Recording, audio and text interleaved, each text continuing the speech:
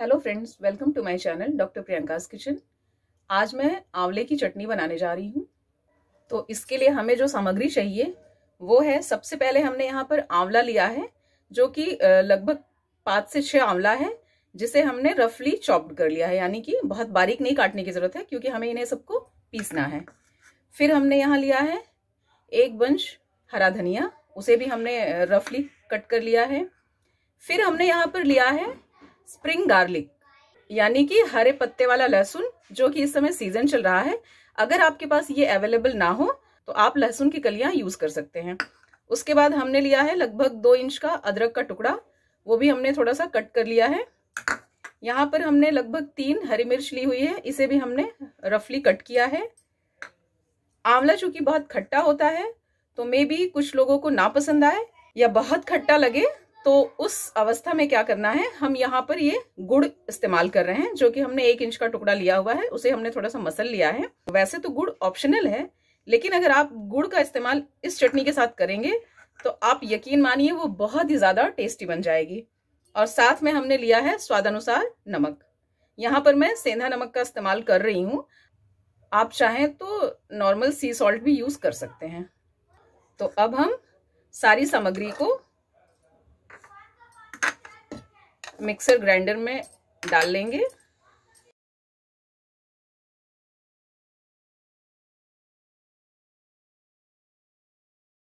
ये नमक को भी मैंने इसके साथ ही डाल दिया है, क्योंकि आंवला जैसे बहुत खट्टा होता है ना, या कभी भी कोई चटनी वगैरह हम बनाते हैं तो जनरली हम चटनी को खट्टा ही रखते हैं।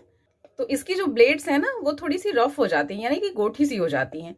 तो नमक आप चाहें तो खाली मिक्सी में भी नमक थोड़ा सा दो पिंच लेके चला दीजिए तो जो मिक्सर ग्राइंडर की हमारी ब्लेड्स है ना, वो फाइन हो जाती हैं। तो इसलिए मैं अक्सर जब भी कोई खट्टी चटनी बनाती हूँ तो नमक को उसके साथ ही डाल देती हूँ, ताकि उसकी खटास का ब्लेड्स पर ज़्यादा इफ़ेक्ट भी ना हो और नमक से वो फाइन भी रहे।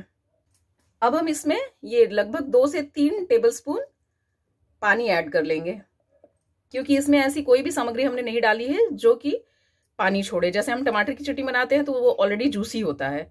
तो इसलिए हम इसमें थोड़ा सा पानी डालेंगे ताकि ये स्मूथली ग्राइंड हो सके। ये देखिए, हमारी चटनी बिल्कुल बनकर तैयार है। अब हम इसे एक बोल में निकाल लेंगे।